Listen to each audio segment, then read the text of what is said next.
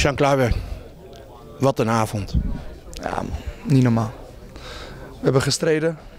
Deze wedstrijd, thuiswedstrijd. En we waren, waren Vitesse gewoon de baas. Ik dacht wel de tweede helft, eerst kwartiertje van oeh, gaat dit goed?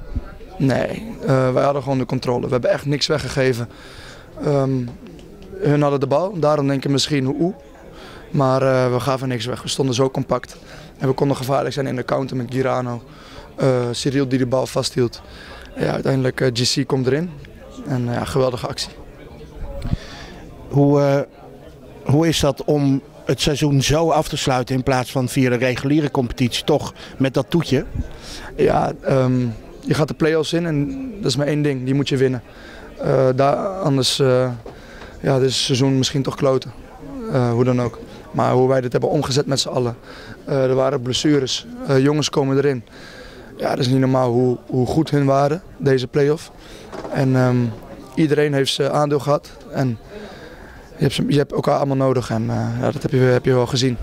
Ja, dat zeg je goed. Het is niet een prestatie van de basis 11. Dit is gewoon een prestatie van het hele team. Precies. En um, ja, jongens die, komen, die zitten op de bank en ja, ze zijn ontevreden soms. Maar als je ziet wat ze, hoe ze het om hebben gezet nu, in deze play-off. Uh, zonder minuut, minuten te spelen het hele seizoen. Ja, geweldig. Ja, er staat ons uh, als toeschouwers nog wat te wachten. Want als je ziet hoe die Gutler zich ineens in twee wedstrijden etaleert. Ik denk dat Gutler een serieuze uh, basisspeler nu voor ons is. Um, en ik hoop het ook voor hem. Ik, en ik hoop het zelf ook. Ik speel heel fijn met hem aan de rechterkant. Het is uh, iemand waardoor ik zelf ook beter in duels kom. En waardoor ik zelf minder um, hoef te verdedigen. Ja, mijn, mijn aanvallende spel komt daar meer van passing dan. En, ik moet zeggen, Gutler die is ongelooflijk belangrijk geweest nu. Deze twee wedstrijden. En ja, chapeau.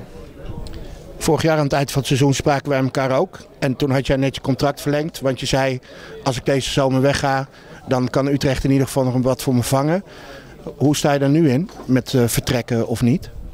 Uh, dat weet ik nog niet. Uh, ik ga eerst lekker op vakantie. Je gaat Europa in? En ik ga Europa in met mijn club. En um, ja, de kans is gewoon groot dat ik blijf. En ja, wie weet als er iets moois komt, dan, ja, dan ga je erover nadenken. Ga je daar, ga je daar mee zitten met de club. met, met je familie en met je, met je zaakwaarnemer. En Um, ja, je moet gewoon goede keuzes maken. En, en, wat je al zei, Europa is hartstikke mooi en dat, dat wil je meemaken.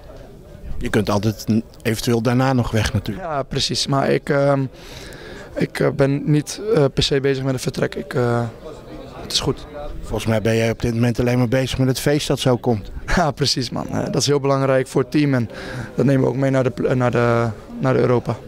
Jullie hebben wel het lekkerste tot het laatst bewaard, hè? Ja, zeker. Ook hoe we speelden aan de bal. Ja, we waren gewoon hartstikke goed. Uh, we zakten in waar het moest. We hielden de bal waar het moest. En we speelden Vitesse gewoon uh, ja, op, momenten kapot. En ja, we hebben gewoon heel lekker gespeeld en het seizoen mooi afgesloten. Zo. Is geen gestolen overwinning? Zeker niet. Uh, op basis van de twee wedstrijden waren wij gewoon de verdiende, overwin verdiende winnaar. Dankjewel. Alsjeblieft.